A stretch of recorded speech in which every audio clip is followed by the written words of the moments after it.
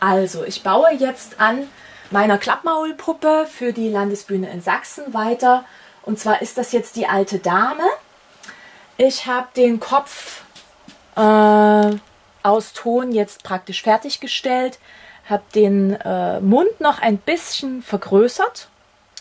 Äh, an den Augen, an den Lidfalten habe ich noch etwas gearbeitet. Also ich werde jetzt den Kopf mit Alufolie versehen, ähm, damit ich dann mit Pappmaché drüber kaschieren kann.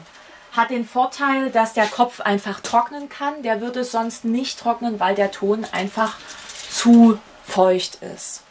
Ja, und im Schnelldurchlauf werde ich euch das dann zeigen. Ähm, später werden ungefähr fünf bis sieben Schichten Papier und Tapetenkleister drauf gemacht. Okay, also dann, bis später. Ciao.